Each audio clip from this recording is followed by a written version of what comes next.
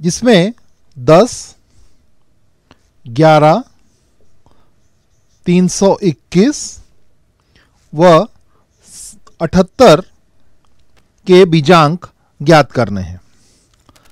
जैसा हम लोगों ने बीजांक की परिभाषा में देखा, किसी संख्या के अंकों का जोड़ एक अंक प्राप्त होने तक करते हैं, यही अंक उसका बीजांक कहलाता है।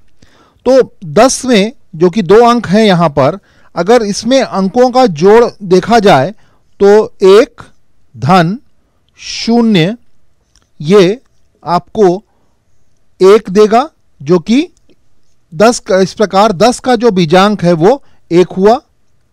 इसी प्रकार ग्यारह का बीजांक, एक, धन, एक, आपको मिलेगा दो।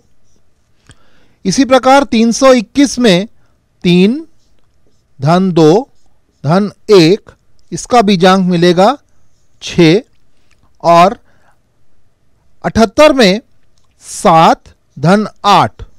देखिए, यहाँ पर जो हमको ये बीजांक, जो संख्या मिल रही है, सात और आठ को जोड़ने पर यह पंद्रह मिल रही है। पर यह पंद्रह जो है यह अठहत्तर का बीजांक नहीं है, क्योंकि एक एक अंक की संख्या नहीं है। तो हम इसे तब तक जोड़ेंगे जब तक हमें एक अंक की संख्या नहीं मिल जाती। तो अब पंद्रह में हम लोग देंगे वन एक और पाँच को पुनः हम लोग जोड़ेंगे और यहाँ जो हमको मिली संख्या, एक अंक की संख्या छ तो अठहत्तर का जो बीजांक है वो छ होगा।